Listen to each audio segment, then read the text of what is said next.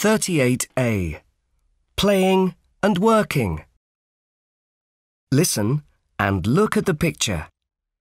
This is an example. Hello, Alex. Did you enjoy your holiday last week? It was great. Shall I tell you about it? Yes, please. Which was the best day? Tuesday.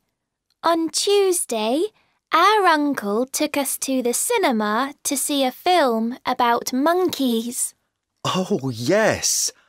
I saw that film yesterday. Can you see the example?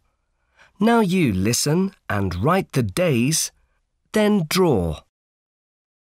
1, Monday was a good day. Why? Where did you go? My dad took me to a forest on his motorbike. On his motorbike?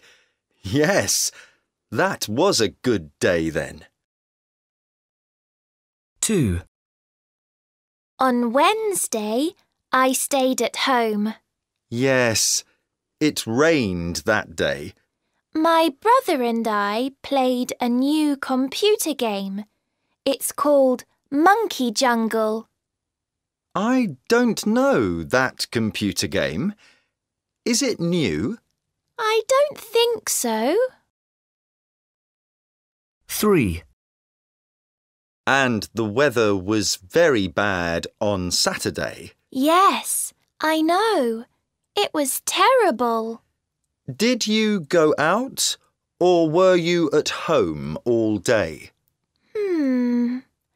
Oh, yes, I know.